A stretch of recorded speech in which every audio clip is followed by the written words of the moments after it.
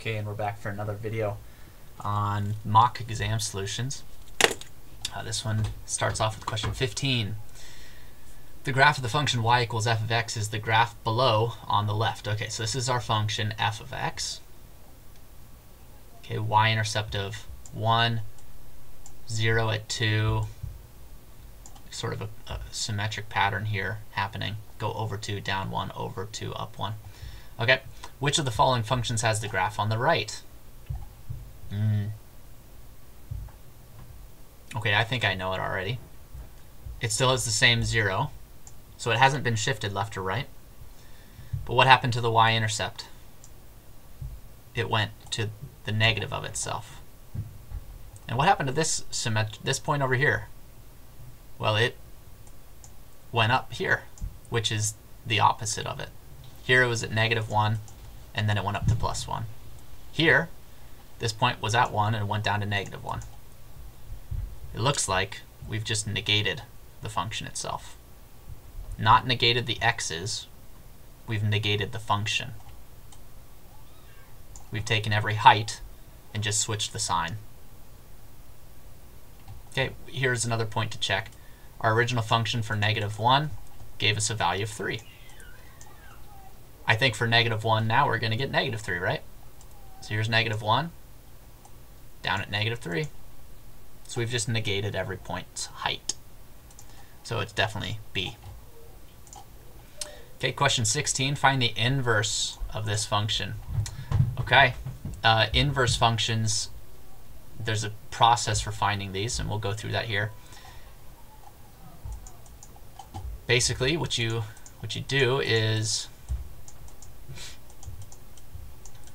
uh, if this is our original function, I like to replace f of x with a y with some variable, but you don't have to if you don't want to. You can just keep f of x. What you do is you interchange every x and y. So every x becomes a y, and every y becomes an x. So here on the left, interchange. So we get an x equals negative y to the fifth plus 32. So we've interchanged. And now what we're going to do is we're going to solve for, for y, if we can. So in this one, we've got subtracting 32 over x minus 32 equals y to the negative y to the fifth. Don't want to lose that negative sign. Then we want to negate, so we want to divide both sides by that negative 1 to get rid of that negative sign, which gives us 32 minus x equals y to the fifth.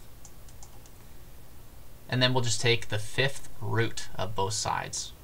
The reason is because we've got y to the fifth here, and we know that the fifth root of y to the fifth is just y.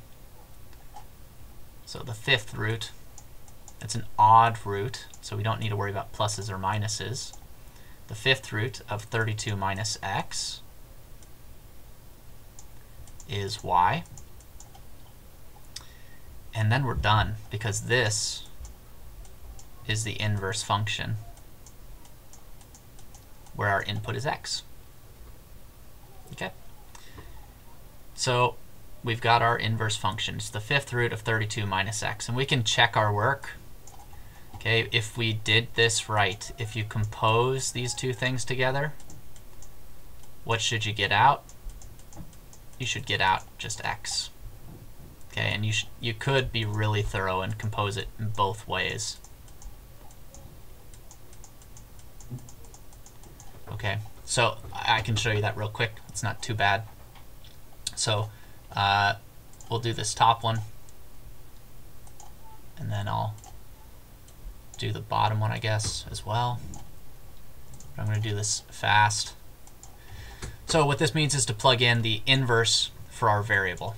So this is negative fifth root of 32 minus x to the fifth.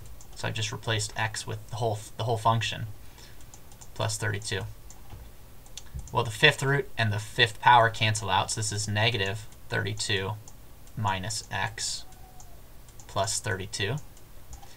So this is negative 32 plus x, just distributing that negative sign throughout there, plus 32. Those 32 cancels, 32's cancel out, we're left with x. So this is at least a right inverse of the function. So that's, that's comforting. How about left inverse? So we just do the same thing. We're going to plug this in to the inverse function there. Okay. And hopefully we get x. So this is the fifth root. We're plugging into the inverse function. We're plugging in the function f of x. So negative x to the fifth plus 32, all underneath that fifth root.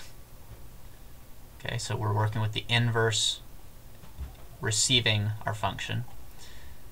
This one seems a little bit easier actually.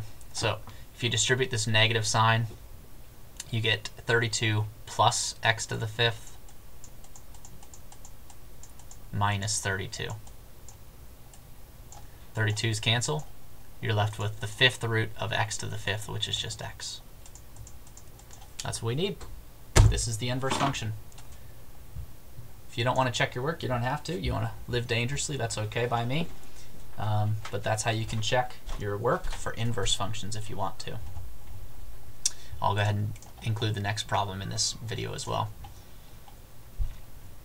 Put the following in vertex form. And if you don't remember it, I give it there for you. I do the same thing on the final, by the way, because there's a lot of, there's there's a little bit of um,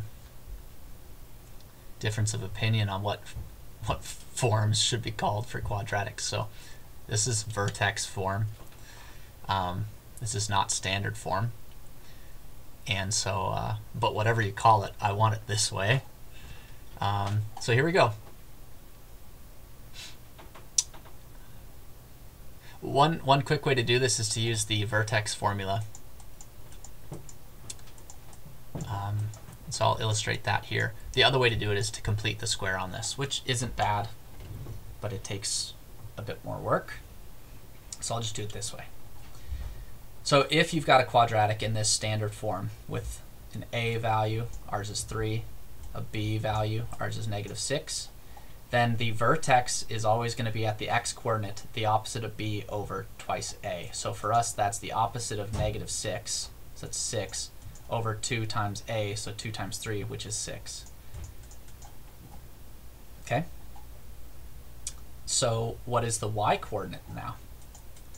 Well, that's what you get when you plug it in. This is 3 times 1 squared minus 6 times 1 plus 1. So the y-coordinate is 3 minus 6 plus 1, which is negative 3 plus 1, negative 2.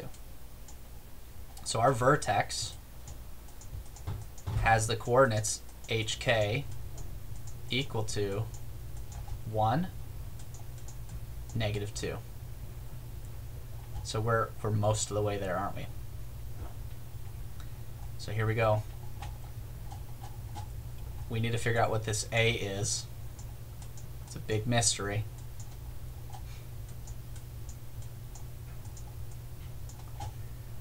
It's a big mystery, isn't it?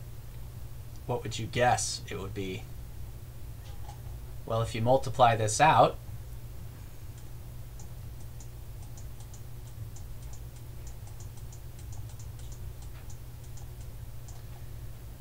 what coefficient do you need here? What coefficient do you need on this x squared? Well, it needs to be a 3, doesn't it? So we need to have at least something happening here where we're multiplying by 3. Let's try 3. Not to be too tongue-in-cheek about this. 3 times x squared minus 2x plus 1. Let's see if this just happens to give us what we need. The answer is it will. This is 3x squared minus 6x plus 3. That's distributing throughout. Minus 2 which is exactly what we need. 3x squared minus 6x plus just 1. So there we have it. That a, the mysterious a, which we also called a earlier, is 3. So I, like I said, this method it works pretty well. And it requires you to remember this formula, not the method of completing the square. Okay. If you did complete the square, you'd arrive at the exact same solution. There's no, no difference at all. Okay, that's it for these two problems. I'll be back for another one shortly.